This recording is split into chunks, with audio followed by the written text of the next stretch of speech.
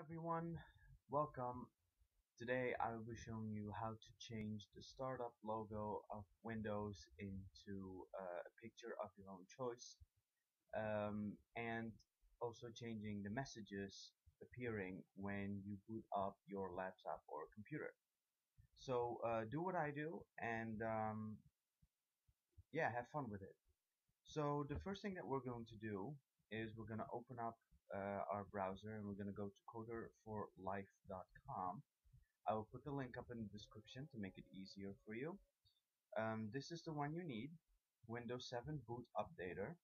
If you click it, you just have to save the file and that is it.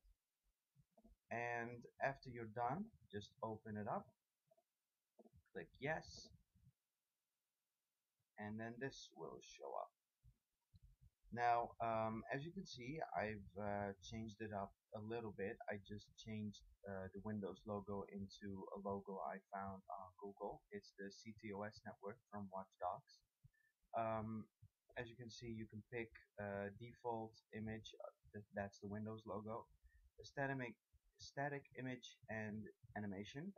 I picked a static image, so this one and uh, you can also change the color of the background but I'm keeping it black because I like that.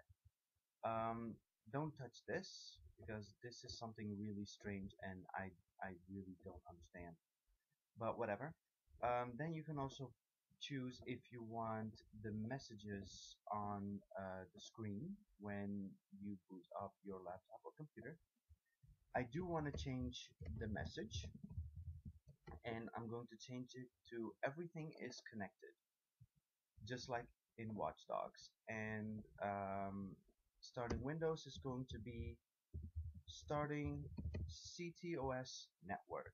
And we're gonna just do the same thing when um, you know sometimes you close your laptop and it's on standby so Windows resumes. You can do the same thing. And I'm gonna do the same thing right here. And change this. And then resuming CTOS network. That's it. And um, then the only thing that we need to do in order to make it work um, just click apply. If you want to see how it looks this is what it's gonna look like when you uh, turn on your laptop or computer. Click apply and then it will um, change the animation and text. Next time when you uh, turn on your laptop and computer and it will stay like this until you change it up again. Successfully changed and um, that's pretty much it. That's all you need to do.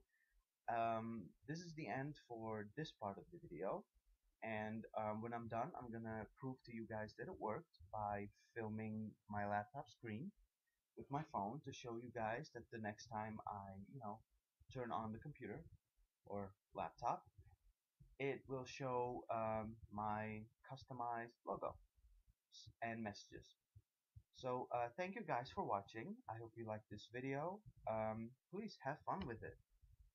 Not not too much fun. Don't overdo it. But you know what I mean. Just have fun with it